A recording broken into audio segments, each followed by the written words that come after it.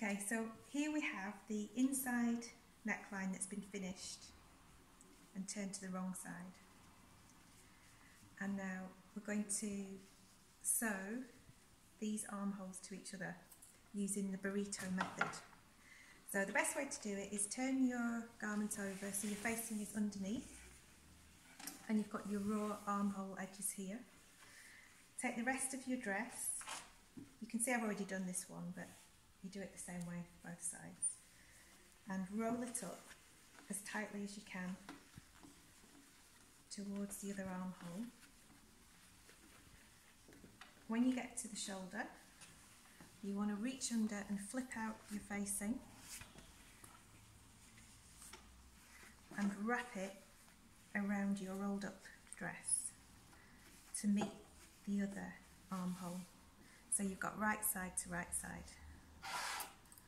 Then using pins, match up your shoulder seams, pin them together.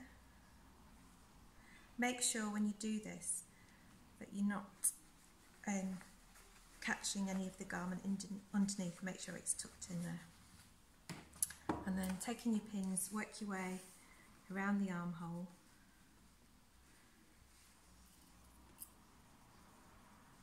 Making sure they're matched up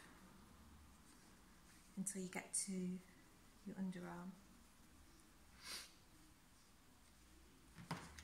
And then we're going to do the same on this side.